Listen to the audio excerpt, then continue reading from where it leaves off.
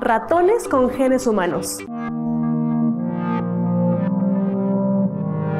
Hola amigos, bienvenidos a Neohumanitas, tu canal de avances, ciencia y tecnología. Mi nombre es Lorena Martínez. A pesar de compartir el 98% de nuestro ADN con los chimpancés, tenemos cerebros mucho más grandes. Hasta el día de hoy no se conocía el porqué de nuestro incremento evolutivo en el tamaño del cerebro, que nos hace más inteligentes en relación a otras especies genéticas similares. Científicos de la Universidad de Duke lograron seleccionar los principales cambios en el código genético entre chimpancés y seres humanos para luego probar los resultados en el cerebro de embriones de ratón.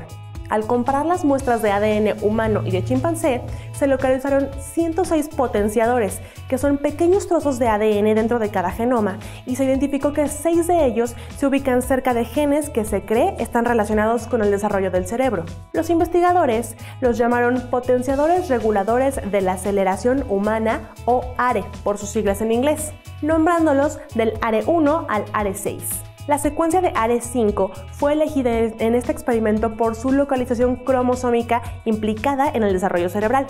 Además, ARE5 humano y de chimpancé solo difiere en 16 letras de su código genético. Cuando introdujeron ARE5 humano en un embrión de ratón, el cerebro creció 12% en relación con los embriones tratados con ARE5 de chimpancé, lo cual se traduce en más neuronas y afectaciones en el neocórtex, la zona responsable del lenguaje y el razonamiento. Al finalizar la gestación, el tamaño del cerebro era notable a simple vista. ¿Ustedes creen que este es el inicio de una nueva generación de ratones súper inteligentes? ¿Qué opinan? Déjenos sus comentarios. Recuerden que tenemos nuevo video los lunes, miércoles y viernes. No olvides compartirle, darle like al video y suscribirte a nuestro canal. Síguenos en las redes sociales dando clic aquí o en la descripción del video. Mi nombre es Lorena Martínez y les mando un beso.